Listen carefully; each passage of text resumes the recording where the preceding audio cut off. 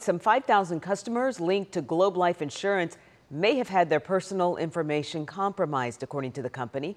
The McKinney based company says it is dealing with an extortion attempt. In a filing with the SEC, they say someone hacked into their system and is now seeking money in exchange for not releasing their customers' personal information. Globe Life says it appears to be limited to customers of their subsidiary American Income Life Insurance. The company is notifying Impact.